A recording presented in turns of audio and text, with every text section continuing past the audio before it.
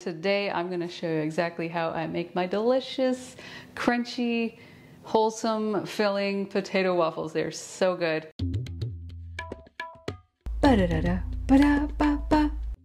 What's up Potato Squad? My name is Janine, the Potato Queen.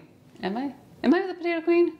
We're all Potato Queens. So let's all be Potato Queens together and Kings and um, let's cook some potato waffles together. And if you have the Potato Reset book, either the digital copy or the print, they're the same thing. It's just one is physical and one is digital. Um, if you go to um, the crispy hash browns, and at the bottom, there is a grill option, electric grill option for these. It's pretty much the same thing, except I find this is a little tip here. If you have a waffle maker or a panini press that does not have removable plates, that the cook time is only 20 minutes, which I'll show you today. If you have something with removable plates, the cook time is going to increase to 30 to 40 minutes. Just keep that in mind. If you are shopping for one, get one that does not have removable plates. If you like to save time, yes, it might take a little more effort to clean, but I find this is actually really easy to clean. Appliances like this, you just have to wipe them clean. Watch the video until the end for more information on cleaning. As long as you let them cook long enough that they can come unstuck from the machine. Otherwise, yes, you're gonna have an ugly mess to clean up. So don't be using those mushy sweet potatoes to make a, um, to try to make a potato waffle because it is just gonna kind of like melt to the machine. It's gonna take forever to dry out. It's the drying out that causes it to lift from the machine and makes it feel like a miracle when you go to pull it out and is so satisfying. All right, so let's get started. Oh, and before we do that, people were asking me which waffle maker I have. This is the Breville. I mistakenly told some people online that I have the Cuisinart because honestly they look exactly the same. So I'm gonna find the exact model that I have and I'll link it down below in the comments. Hi Ellie, you wanna go for a walk? And and in the description box as well. So without further ado, let's get started. Here I have some leftover baked potatoes that have been stored in the fridge overnight. I recommend either you pressure cook or bake your potatoes ahead of time and refrigerate overnight for best results. And then you're gonna need a grater or you could use a food processor. And if you want to add spices or other vegetables, I recommend grating into a bowl. Otherwise, if you're not going to be adding any spices, you could just go ahead and grate right on top of your waffle maker.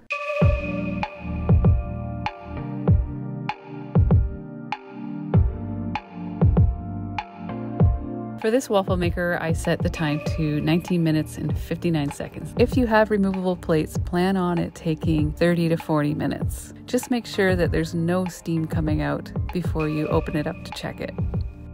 Turn this off. Got the spatula here. Look at that. They're coming out really nice.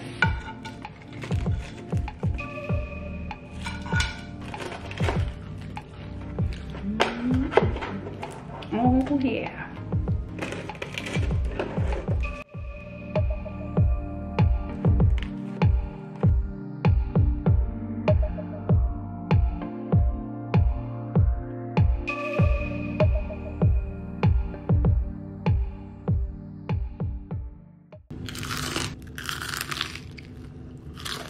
Right, Junebug, Penny, yeah.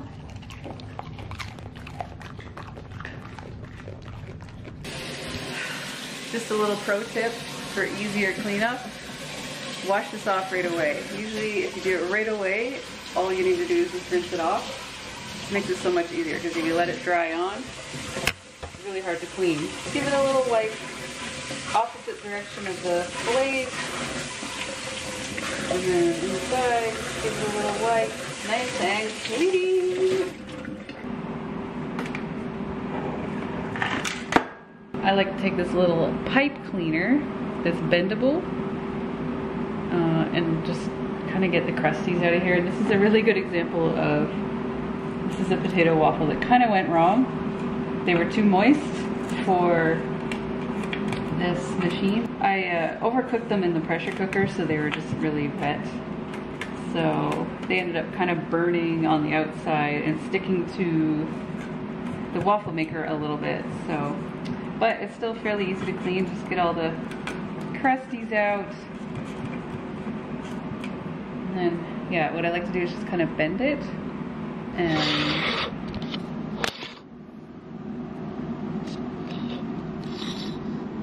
if I want to get in the crevices here or on these little typically it's not this messy but I wanted to show you kind of a this isn't a worst case scenario but you know this is not my typical cleaning for this thing. All right, and then what I do is get just a damp cloth, all the crispies here. And anything that I can't reach, I'll just go back in and all that noise is, this machine is, the waffle maker's laying on some crunchy bits. It's really not that bad for cleaning. You don't want to use a cloth that you like because it is going to get a little dirty. And not too bad. There's probably a little piece, a few pieces in here I could just wipe out. But um, yeah, just took a couple minutes just to kind of get this clean. And yeah, it's not too bad.